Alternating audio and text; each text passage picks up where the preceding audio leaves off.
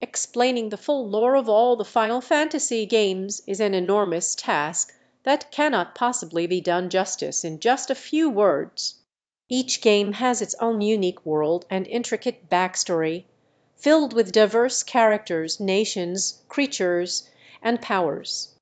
It would take many volumes to dive into the depths of all that lore.